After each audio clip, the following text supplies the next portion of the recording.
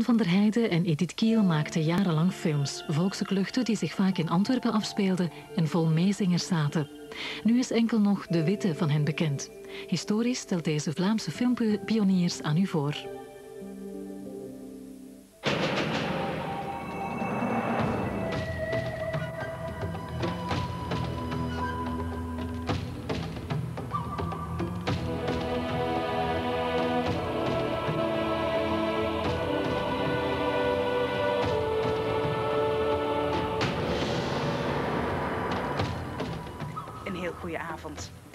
Vandaag kent heel Vlaanderen Markske, Carmen en Balthazar Boma. In de jaren 40 en 50 waren dat Janssens, Peters en Madame Babbel. De kampioenen van die pre-televisietijden schitterden in bioscoopfilms, in de werken van Jan van der Heijden, een Vlaams filmpionier. Van der Heijden maakte volkse kluchten met titels als De Wonderdokter en Uilenspiegel leeft nog. De meeste zijn nu vergeten op één na, zijn allereerste, De Witte van Zichem. Die schreef in 34 geschiedenis, want voor het eerst hoorden de Vlamingen hun taal in de bioscoop. Maar de witte uit de film was niet dezelfde als de bengel uit het Ernest Klaas boek. En de aanpassingen waren het werk van Van der Heijdes vriendin Edith Kiel. Zij had in het verhaal een liefdesgeschiedenis verwerkt en daarmee tot ongenoegen van Klaas een eigen stempel op de witte gedrukt. Kiel zou trouwens alsmaar meer inbreng krijgen. Eigenlijk voerde zij van veel latere kaskrakers de regie Herman kreeg de eer zijn naam te zetten op de generiek. Onze reekstitel Mannen maken beelden klinkt dan ook een beetje ironisch voor het laatste deel. De historie van Jan van der Heijden is om precies te zijn de historie van Jan en Edith.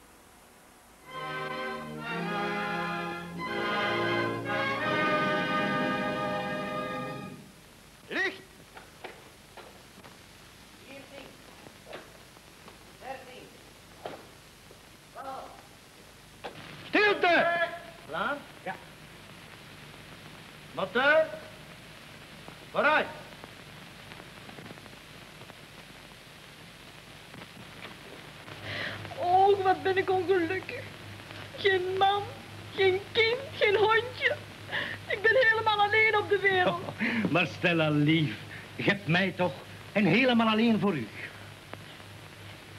Is dat waar, schat? Maar natuurlijk.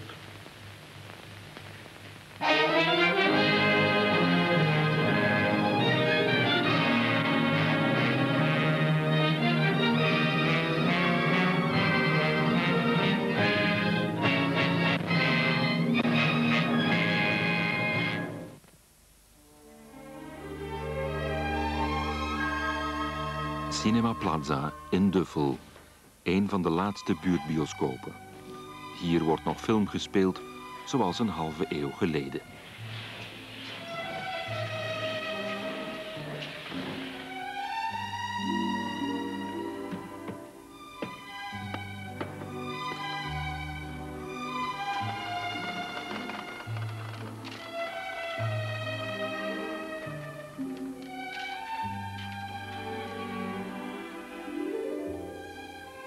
Hier vanavond gespeeld?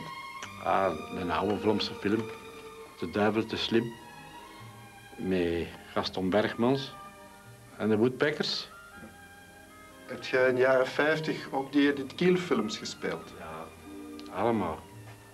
Twee, drie keren. Alle jaren herpakte die. Ja. Kwamen de mensen kijken? Ja. Ja, dat was altijd vol een bak, hè. Heb je zelf die films graag gezien? Allemaal.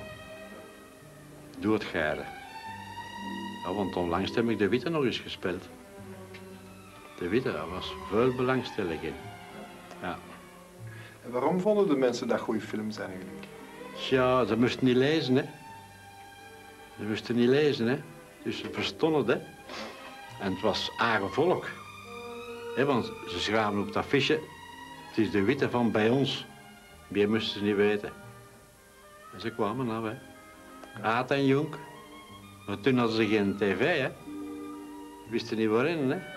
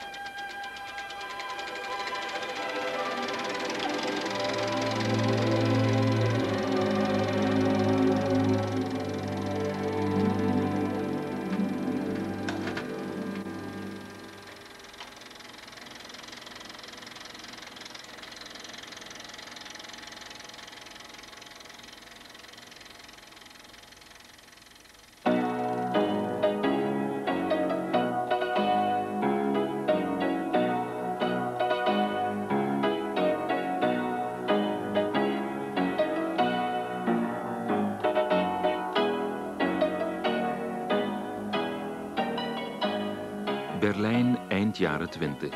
Een provinciestad groeit uit haar voegen.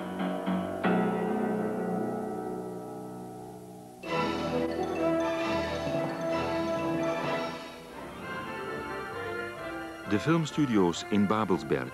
Namen uit alle landen schrijven hier filmgeschiedenis op het witte doek.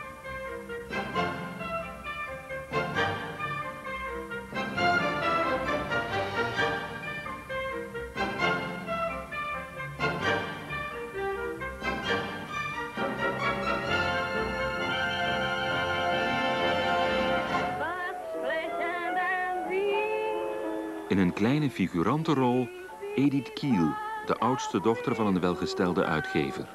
Een jonge moderne vrouw met ambitie. Wanneer vader sterft, wordt zij de kostwinner. Maar ik had een schoolvriendin, dat was Lilian Harvey.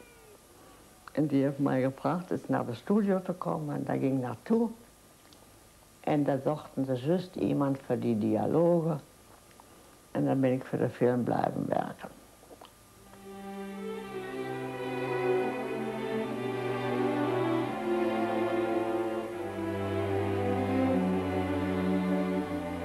Edith assisteert buitenlandse regisseurs die last hebben met de Duitse dialogen.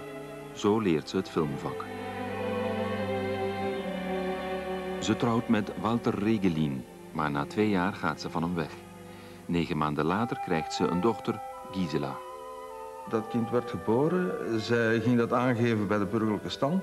En ze heeft me toen gezegd, ja, dat kind heeft geen vader, want ze vroegen op de burgerlijke stand wie dat de vader was. En ze zeiden, dat kind heeft geen vader. Zij wilde absoluut niet dat die man van haar, die ex-man, dat hij zou aanspraak maken op dat kind. Vandaar dat Gisela dat die Kiel noemt en niet Regelin. Hoe is het? Goed. Alles goed? Kan die hebben? Als ik mag, ja. Als dat mag. Ja. ja. Ze geloven? Nee, als ze Nee. gewoon zijn. Het weer- zou wat beter beter mogen zijn.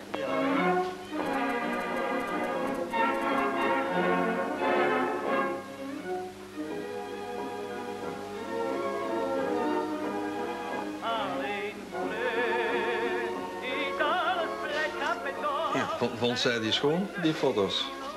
Deze wel, ja. Die wel, ja. Deze is gemaakt, hè. Zat er hier van achter iets opgeschreven? Richtig doof, beim fotograaf. Hè, Echt stom. Omdat dat zo staat is.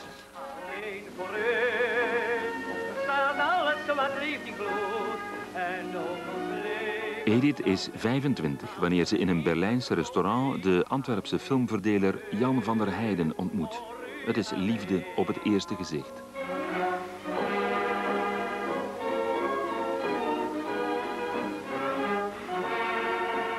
Die konden niet huwen.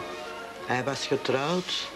Toen hij jong was, heeft hij een manneke leren kennen in Parijs.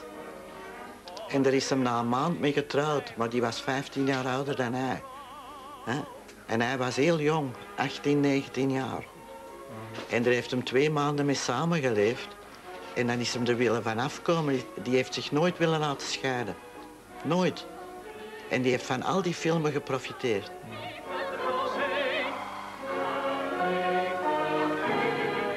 Volkse Jan is 13 jaar ouder dan de verfijnde Edith. 32 jaar lang blijven ze partners in de liefde en de film. Edith Kiel kende wel de weg in Berlijn, hoe dat men aan goede films moest geraken. En zo is uh, Edith Kiel samen met Jan van der Rijden in Berlijn twee kassuccessen in Duitsland gaan kopen.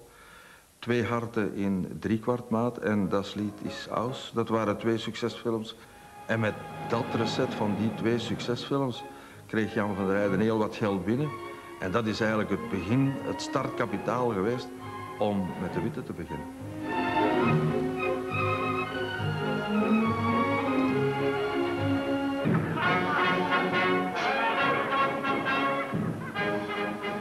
Jan het succesboek De Witte van Ernest Klaas in handen krijgt, droomt hij van een eigen Vlaamse film. Edith is minder enthousiast. Edith Kiel vond het toch eigenlijk allemaal maar niks. Zij vond de Duitse verhalen van die Belhamers in Duitsland veel beter geschreven. Er zat geen rode draad in dat verhaal, dat was niet, niet goed geschreven volgens haar. Maar intussen tijd had Jan van der Rijden eigenlijk al contact genomen met Ernest Klaas. En Ernest Klaas ervan overtuigd van de rechten te geven voor die film. En zo kwam Jan van der Rijden eigenlijk met het contract al thuis zonder dat er iets geschreven was. En Edith Kiel was eigenlijk dan verplicht om te beginnen te schrijven. Maar het was moeilijk te bewerken, er was geen rode draad in. En hoe hebt u die rode draad dan erin gekregen? Wat? Die rode draad, hoe is er die ingekomen? Die heb ik moeten maken. Op welke manier? Op welke manier? dat is nu een vraag. Je moet toch een samenhang hebben, hè? Ja, daar staat in mijn draaiboek. En dat ziet je op de film. Dat was met een liefdesgeschiedenis? Ja, ja. Als je dat liefde noemt. Klaas is erg opgezet met de verfilming van zijn Witte en met Edith Kiel, zoals uit zijn dagboek blijkt. Zij was een uh, mevrouwtje, een Berlijns mevrouwtje, dat indruk op hem maakte, verstandig was, knap en ook um, karakter kende van de spelers, van de acteurs en ook wist wat Klaas bedoelde met zijn werk. Niet altijd gaat hij daarmee akkoord, omdat, zoals ik al eerder zei, in het scenario dingen waren die niet van hem waren. En wat niet van hem was, vond hij over het algemeen ook niet goed. En ze lagen wel een klein beetje in conflicten natuurlijk. Hè. En ook op menselijk vlak heeft dat eigenlijk ook nooit niet zo goed geklikt. Want ze heeft dus ooit gezegd dat uh, Ernest Klaas eigenlijk zijn handen niet kon thuis houden. Maar die uitspraak laat ik natuurlijk voor haar. Hè.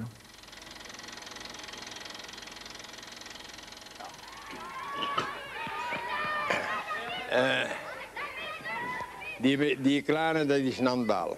Neven die kleine zijn ik. Dat is de vomper. Ziet? Een hand staat even mij.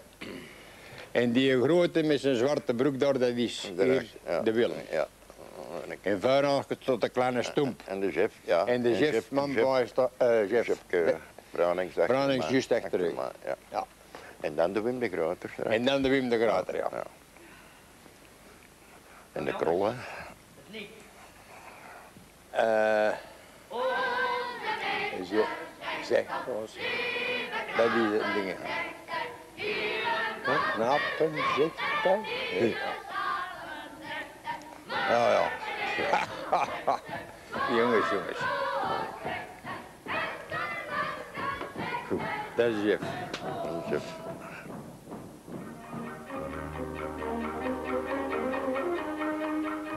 In juni 34 starten de buitenopnames in Zichem, Klaas geboortedorp. Allee, vooruit Klaas, blijf er niet staan rapen. Allemaal moet vandaag aan het werk. Maar de Vlaamse acteurs hebben geen filmervaring en regisseur Willem Benooy van de Antwerpse Schouwburg laat de eerste dag al verstek gaan. Uh, Willem Benooy daagde niet op. Hij, hij zei, Jan, kan ik dat niet? Ik kan dat hoegenaamd niet. Wat dat is niks, zegt uh, Jan van der Rijden. Edith zal dat wel doen. En Edith heeft het gedaan en heeft verder heel de regie afgewerkt van de film. Maar Willem Benooy staat op de titels wel als regisseur vermeld. Wie heeft de regie dan wel gedaan? Ik. En uw naam staat op de generiek vermeld als regisseur? Ja, dat geeft toch niet. Daar laat Willem Benooy dan maar opstaan. Dat was nu hier al door de pers gegaan dat hij de regie doet. Met de die oude mens niet uh, kwalijk nemen dat hij het niet kan. Hè. Ja. Het begin, het ja. klaarmaken. Is er man klaarmaken, eh, met die corset. dat en dan, dan, dan stro erin stijgen. Vurke, stomp, loon en uh, dat. Ah. Jullie zijn de, vijanden. Ja. Komt van kinderen. Praat. Ja, dat. En we een jaar gooien, jongen. We zouden geen, we zouden geen spijker meer. Hoe is dat volle jaar. Ongelooflijk.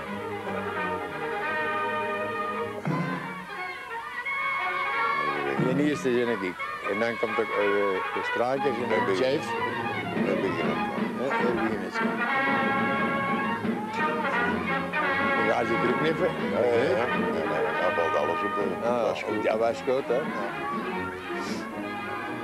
Het gevecht van de Lee van Vlaanderen herinner ik me nu. Staat namelijk in de gracht. Verbrand van de zon helemaal, zo rood als kreeften. En we moesten naar elkaar met zand smijten. Zand, dingen, dat is half En daar hebben we afgezien, want dat zand op dat verbrandde uit. Maar ja, het was allemaal voor de film. We waren zo, zo fier en blij om film te mogen spelen. In die tijd was dat, oh jongens, alleen maar wachten op Hollywood, hè, tot die afkwam.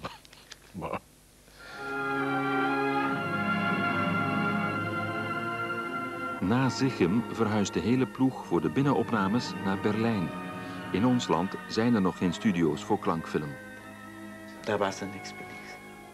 Ja, dat was het een en het ander. En die mochten maar twee uur per dag werken of zo. Dus dat was heel duur en heel spannend. Hè. Want de politie die stond in, in de studio en die mochten niet langer werken. Ja, en dat waren toch krachtige kereltjes, die hadden, die hadden graag wel langer gewerkt. Nou, er is hier nog een foto ergens van, heb ik gezien nog. Waar dat ze allemaal opstaan, de, de mannen Ja. van de, de Witte, de kinderen van de, Ja. de spelkameraden van de Witte. Hè. Ja, en die zaten allemaal in een hotel in Berlijn. Hè. Dat was een dure affaire. Na de opnames zit Jan met een tekort van 200.000 frank. Vandaag zo'n 4 miljoen om zijn film af te werken. Maar het is Edith die naar pen kruipt en aan de zeer geëerde Dr. Klaas een lange bedelbrief schrijft. Is de eerste keer, het zal later nog herhaaldelijk gebeuren. En die eerste steun bedroeg voor die tijd een enorm bedrag van 40.000 frank. Het is Edith Kiel die geld vraagt voor Jan van der Heijden. En dat gebeurt altijd zo, op die manier. Dus een beetje verdoken. En zij wil zichzelf wegcijferen. Zij wil daar niet tussenkomen. En toch doet zij, stelt zij altijd de vraag naar het geld. In september 34 gaat De Witte in première. Het wordt een overrompelend succes. Afgelopen met voettitels lezen. Voor het eerst wordt op het witte doek Vlaams gesproken. Maar het is de proloog naar een idee van Edith Kiel die het publiek doet rechtveren. Net hè.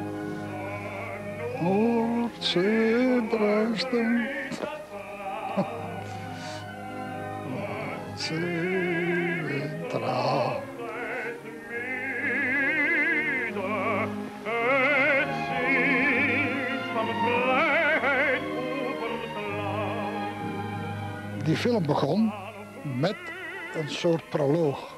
En een Vlaamse proloog nog wel. Hè. Op muziek van Renaat Veremans. Een lied gezongen door Alfo de Kwik, dat de grote bariton van de Antwerpse opera was. En waarvan de tekst geschreven was door Willem Gijsels. En terwijl dat lied weer klonk, kreeg je dan dus een, een reeks beelden te zien. Dat was zo Vlaams het maar kon zijn. Hè. Voor de cinema zeker, waar je nooit zoiets gezien hebt.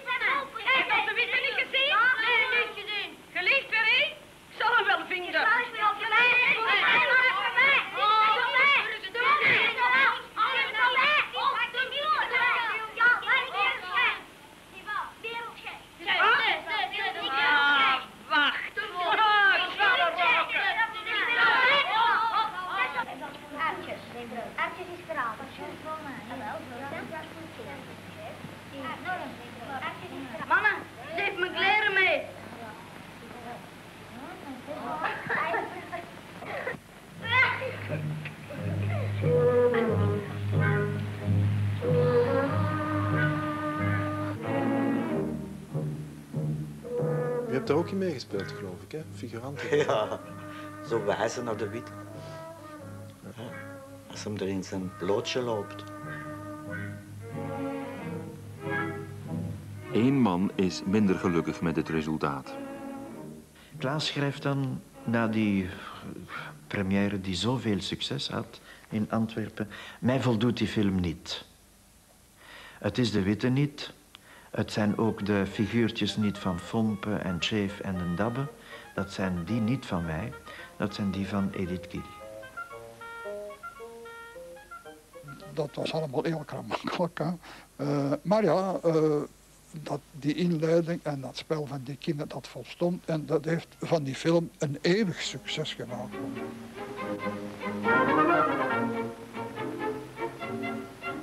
De Witte kostte zo'n 20 miljoen van nu, maar brengt een veelvoud op. Jan en Edith proberen dat succes nadien vergeefs te evenaren. Ik herinner mij, uh, ik geloof de tweede film wilden ze met die Alleen voor u, heette dat geloof ik. Een beetje naar een, hoger niveau, naar meer, uh, uh, meer uit het volk. Ja, operette-achtig zoiets, met ook een liedje en een dingetje ertussen. Maar als ik mij goed herinner, was dat een echte catastrofe, kwestie van, van opbrengst. Dan maar terug naar Ernest Klaas, die het scenario van Uilenspiegel leeft nog mag leveren. Weer geen succes. Volgt De Wonderdokter naar een populair blijspel van toneelauteur Jos Jansen. Weer mag Klaas geldschieter spelen, hoewel hij de films niet apprecieert. De Wonderdokter, hij vond dat een prul. Hij vond die films niet goed. Hij vond dat, ja, banale dingen, archiflauw, onnozel. Maar film fascineert waardevriend Nest, die telkens zonder morren en zonder rente de gevraagde sommen leent. Van der Heijden betaalt stipt en noemt Klaas in zijn brieven de weldoener van de Vlaamse film. Klaas krijgt een percent op de inkomsten van drie Van der Heijden films. En dat bracht dus geld in het laadje, auteursrechten en bekendheid van zijn naam. Want daar is het Klaas vaak om te doen. Dat zijn naam zou voortleven, zou bekend blijven.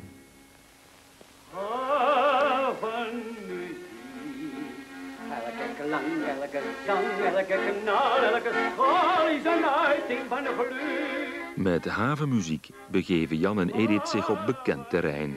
Antwerpen, de haven, muziek. Een succesformule, de film is een hit.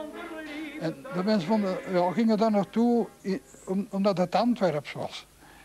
En als dus iemand op dat heel grote scherm aan mij mijn voeten zegde, dan begon heel die zaal te lachen. En als ene lacht in de zaal, lacht de hele zaal mee. Hè. Ken je Goliathus? Ken je Golle Pieters? Maar ik verbied de Golle zo en serieuze makers. Hoort ze er maar eens bezig. Nou wordt het interessant.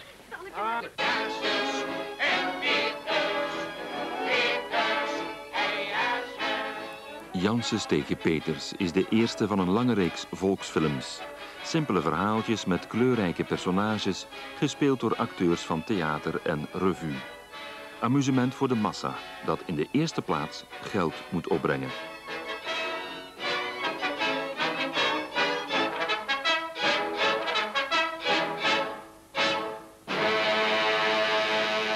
Je moet hier het publiek kennen. Wij hebben niet veel elite. Het land is klein. Voordat je daar een film kunt amortiseren, dat is, uh, dan moet je iets maken wat dat aan het publiek bevalt. Het waren altijd komische films. Ja, ze lachen hier het liefste. Lachen is trouwens gezond. Wat, hè? Kunt u zegels vergeten, meneer Janssens? Ah? We zo wat vechten, hè? Van mij, losse paard! Ja, ik. Schoon, madame. Ja, ik ben een madame. Doe me niet lachen. Lief mevrouwtje. Met de draaiwekken gaan we naar het stadhuis, meneer Peters. Maar zonder vraag, meneer Janssens. En je zet er geen vult meer over met een darfel, meneer Janssens. Flauwe plezante. In 1939 kopen Jan en Edith een opslagplaats en richten er een studio in. 60 jaar geleden werd hier Vlaamse filmgeschiedenis geschreven. Vandaag vergane glorie. Licht!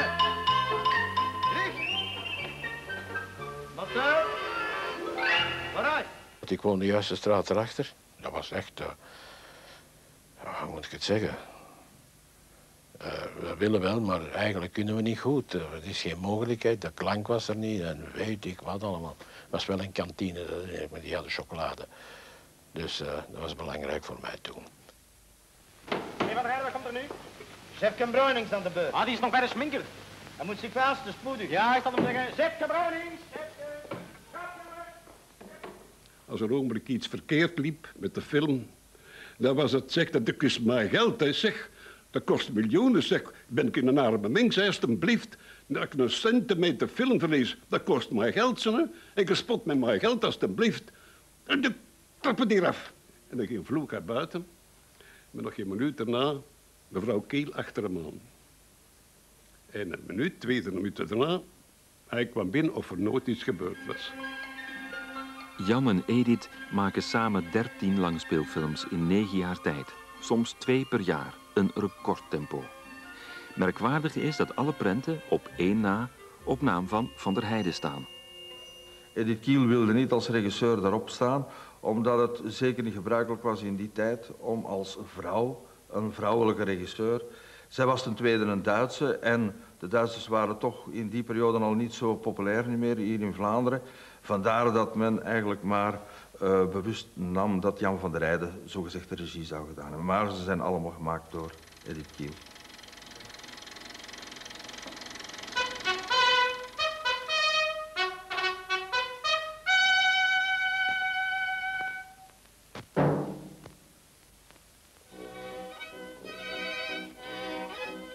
Die film uh, Witte wij zaten daar allemaal natuurlijk voor de première. Hè? En nadien was het dan eh, receptie. En wij zaten allemaal eh, goed in de wind in, op die receptie. Hè? En ja, hoe, dat, dat dan ter oren kwam, de, enfin, we voelden dat er iets was. En dan is er iemand buiten gegaan. En dan waren de vliegtuigen zo van het overvliegen van... En ze zei, man, de oorlog is uitgebroken. Als ik daar nog aan denk...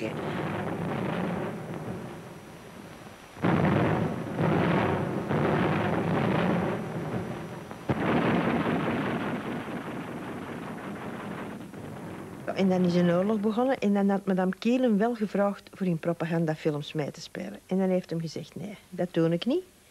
En dan zijn ze, hebben ze er niet verder op ingegaan, maar dan zijn ze begonnen met die dinges met eh Dingemans Babbel. Met kou en onze paai, hè. Ik kan sloten, meneer Dingemens. Het is draafrang van de stukjes, hè. Je zult jij hier gesloten als ik mijn kindermail heb. Verstoor je dat? Al moest je de politie bijhouden. Je kunt gaan gaan halen wie dat je wilt. En als je nog vuil van een neus smokt, dan laat je weer maar afschraven, ze, hè. Hier is dat zegeltje. Doorze. Ik heb me een half en half pak.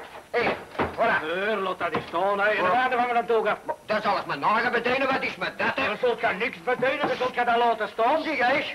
Hier, mijn zegeltje eens. Door. En dat en hij, deze, hè, dat kan je zelf gebruiken. Wat is met dat? Wat? Ik zal even zorgen, kom bunker, hoor. Ik zal er eens achteruit treden. Wij deden gewoon voort, laten we zeggen, maar vroegen ons niet af, hoe zit dat hier politiek? Is dat Duitse... Vrouw, mevrouw Kiel natuurlijk, Duitse zijnde, had weinig problemen natuurlijk met de bezetters. Sowieso. Op 16 augustus 1940 ontmoet Klaas hen in het Hotel Plaza en hij merkt dat Edith Kiel een hakenkruis draagt. Dat schrijft hij ook in zijn dagboek. En hij gaat kijken naar de film die op niks trekt, Janssens tegen Peters, met vooraf een galaavond. Hij vindt dat Edith Kiel en Jan van der Heijden 100% Duits zijn geworden. En dat Edith Kiel zelfs een hoge borst opzet en doet alsof zij nu baas is over ons land. Dankzij zijn Duitse gezellin wordt Jan tot voorzitter gekozen van de syndicale kamer van de film. Die was Duits gezind, hij had een Duitse vrouw en een, Duitse, een Duits kind. En er was sympathie voor Duitsland, waarom niet? Maar die was zo apolitiek, gelijk dat maar mogelijk was. Die trokken zich niks van politiek aan. Die was ook niet bijzonder Vlaams gezind. Daar had hij helemaal geen idee naar. Ja. Het enige wat je hem kunt verwijten, en mijn moeder, dat ze niet erover nagedacht hebben. Want hij is president van de filmkamer geworden. Ja, en die was geflatteerd. Gewoon. En dat is een, hè, dat is een responsabiliteit. En, maar hij had nooit het gevoel dat hem iets verkeerd deed. Jan steunt de Duitse Vlaamenpolitiek. Voortaan geen eentalig Franse of in het Frans gedubde films meer in Vlaanderen. Duits mag wel. Il y a aussi une mesure plus pernicieuse, dans laquelle, à mon avis, Jan van der Heyden là est plus directement impliqué, c'est la volonté de favoriser la distribution des films allemands, non seulement en Flandre, mais de manière générale en Belgique. Et donc, il y a des, des sortes de quotas qui sont euh, instaurés, où environ deux tiers des films qui vont être distribués sous l'occupation seront des films allemands. Jan is de enige die toelating krijgt om speelfilms te maken. Dat zal hem na de oorlog zwaar worden aangerekend. Voor tegenstanders is Van der Heijden voortaan de Vlaamse filmführer. Ce ne sont pas des films pro-nazis ou des films à caractère antisémite, ce sont des films de fiction, qui sont des films de divertissement, mais en tout cas il est certain qu'il est le seul à poursuivre ce type d'activité. Met Jan als voorzitter zetten de Duitsers het filmbedrijf naar hun hand. Zowat de helft van de filmverdelers moet de deuren sluiten. Filmzalen van buitenlandse en Joodse eigenaars worden aangeslagen en verkocht. De filmproductie komt onder Duitse censuur te staan. La première session de la Chambre internationale du film a lieu à Berlin.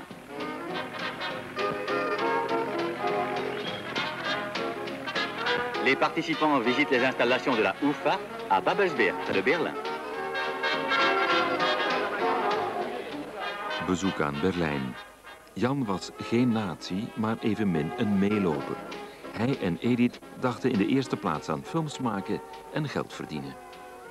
Mais en tout cas, tous les documents sont signés par Jan van der Heyden, d'une part. D'autre part, on le retrouve dans différentes réunions qui ont eu lieu. Donc il y a des photographies, euh, des témoignages qui en attestent. Il, s'est même rendu, on en a la certitude, à plusieurs reprises en Allemagne. Il a été à la Mostra du cinéma de Venise, donc où il y avait une réunion euh, de différentes chambres syndicales euh, de pays sous occupation pour créer un cinéma européen. Alors on imagine de quel cinéma européen, évidemment, il est ici question. Dat was toch te verwachten, we zitten in de bak. Omdat we te vroeg lachten, gezinnen echt een krak. Wat zullen ze met ons gaan doen? Ik ben zo schrikkelijk bang. Want ik zie nu al heel en groen, wat duurt het hier toch lang? Och, meneer Dingemans, we hebben geen kans. Op het einde van de bezetting vluchten Jan en Edith hals over kop naar Duitsland. Spoorloos verdwenen, spotten tegenstanders. Smadelijke aftocht van de Vlaamse filmführer.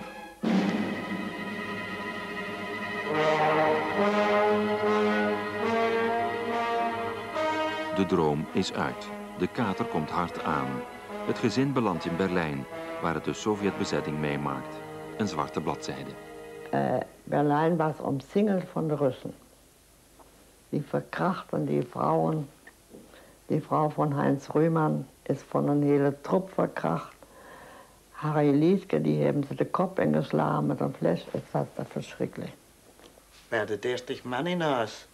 En, en twee vrouwen. Jan van der Eyden die is overnacht grijs geworden van, van de zenuwen. Want die was altijd maar met zijn Belgische pas heeft hij ons gered Ja. van verkrachting. Ah ja? Ja. Dan waren we aan geweest. Ja. En een andere dag was die grijs. En toen kwamen de Amerikanen. Dat was echt een... Nooit gedacht dat ik zo blij was van Amerikanen te zien. Alles. Ja. Jan krijgt eerst 13 en in beroep 10 jaar. Na drie jaar komt hij vrij, maar mag geen films meer maken. Zijn hele bezit wordt verbeurd verklaard. Ja, het Kester heeft al die filmen per kilo verkocht, zo ongeveer. Per kilo? Ja, per kilo. Ja. En als je dan ziet, in een Astrid of in cinemas, dat er lange slangen mensen staan aan te schuiven en je hebt zelf geen geld, dan voelde dat toch als onrechtvaardig. hè. En dan waren er nog mijn meubelen en alles, alles weg. Ik zeg u, wij zijn opnieuw begonnen met twee valiezen. Was heel plezant. Er is die eigenlijk aan kapot gegaan. man. die was zich nooit bewust dat hij echt iets verkeerd had gedaan. En hij had ook niks verkeerd gedaan. Ja. En hij was een hele eerlijke mens die in de rechtvaardigheid geloofde en die kon dat niet, kon dat niet verwerken. Ja. Ze hebben ons goed drie jaar gestolen. Alles weggenomen en dan nog de tijd gestolen.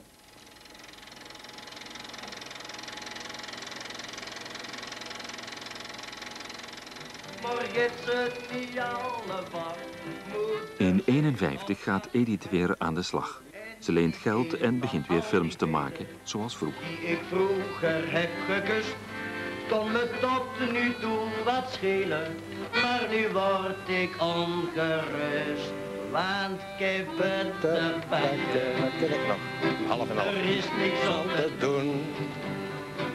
Ik ben blijven plakken, om dat meisje van toen. Ik krijg mijn schoen mama dan gratis en vooral als het te laat is.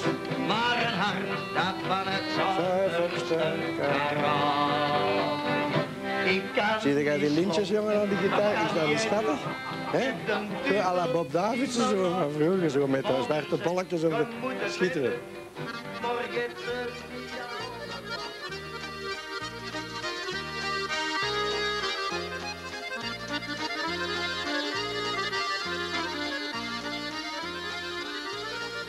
Anneke de Laat. Zij speelde ons moeder in het Schipperskwartier. En hij was weduwenaar, geloof ik. Ja. Zij was een heel lief, lieve vrouw, Anneke de Laat. Soms denk ik dat het veel beter is van niet meer met u alleen te zijn. Dat begrijp ik niet, Rick. Eer, eer, eer. Oh, wat zijn ons kindjes braaf. Anneke, het is een misseloderke. En je hebt Anneke omdat ze zo leven. Ik was toen, ik denk 12, 11, 12 jaar. Waarom daar wat achter zit. Janine, Astrita, Astritake. Waar moet er dan vrouw zitten als mijn trouw? En Janneke? Geld waarschijnlijk, hè, Moeke. Ik ken de kleur nog van dat kleken dat ons Janine had. Dus was Schotse, Schots gekleurd bedoel ik, hè, niet scheel. Anneke, zijn het triestig? Loop me boken. Ik kom weg. Oh, Anneke, blijf toch hier. Maar ik kom terug. Dat zegt ze maar. Weet je wat? Ik zal een musje meenemen. Dan kom ik toch terug, hè?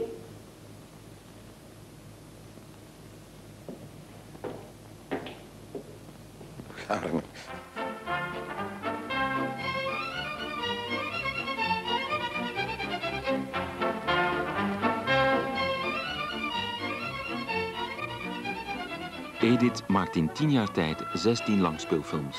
Geen Vlaamse filmmaker die haar dat nadoet. Ze schrijft haar eigen draaiboeken en doet zelf de regie.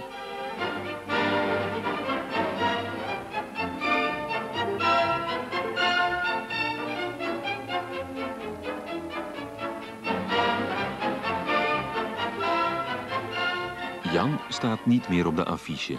Hij leeft in de schaduw van zijn vrouw. Voortaan staan alle films op haar naam.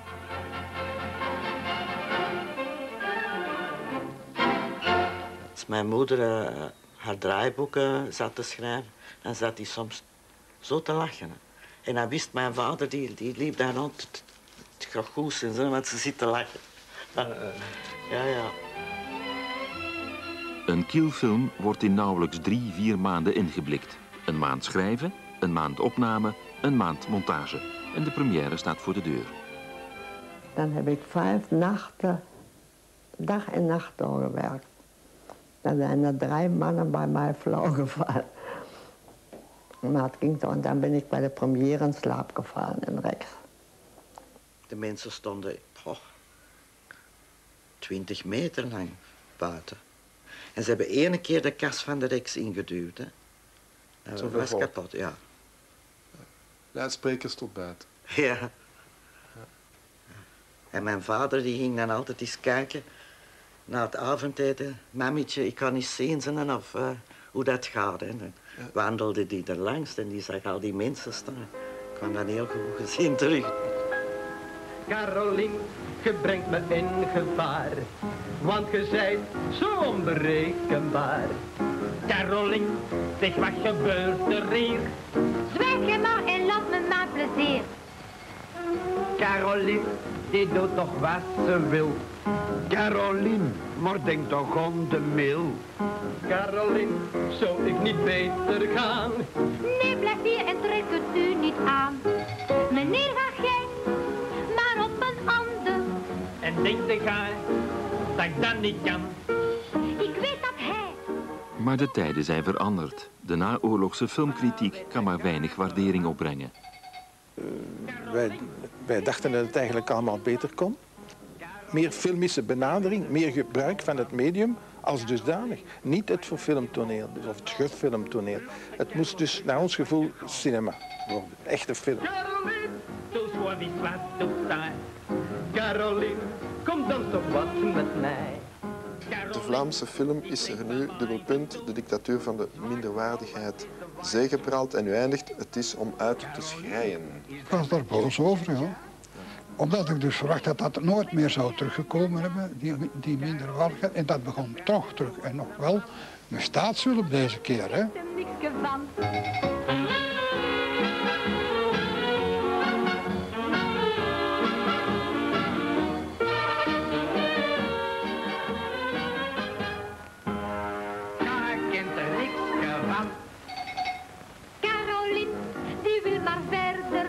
Dat heeft geen intellectuele waarde, dat zijn geen hoogvliegers, dat heeft zelfs geen acteerwaarde. Dat, zijn, dat is volksamusement. De kermis in een blik. hè?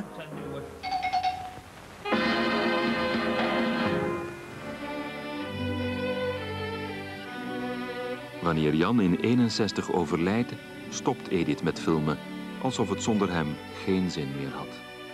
Je moet toch iemand hebben waar dat je heel, heel goed contact mee hebt en kunt discussiëren over alles. Als je dat allemaal alleen moet doen, dat is erg. Ze misten hem. Of zoals Edith later schreef, ohne Liebe geht es nicht. Zonder liefde gaat het niet. Edith overleed in 1994, 90 jaar oud.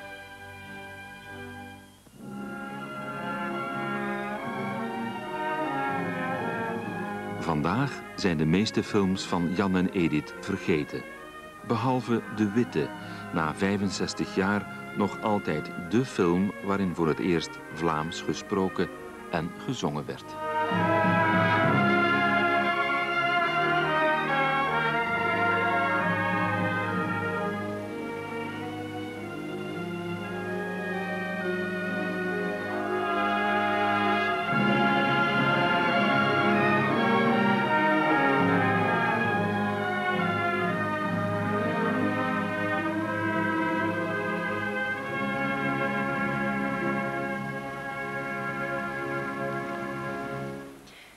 Met het verhaal van Jan en Edith zijn we aan het einde gekomen van onze reeks over beeldenmakers.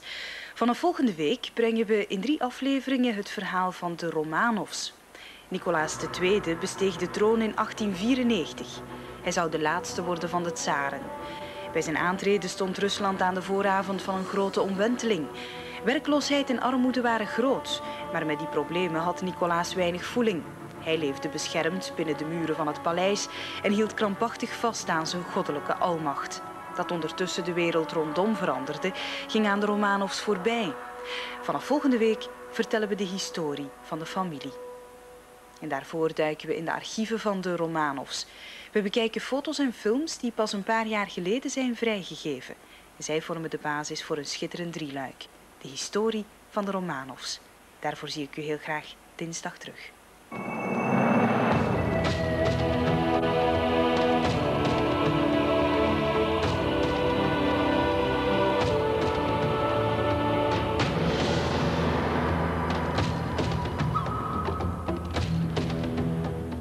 Ze kan razend kwaad worden en heeft ooit al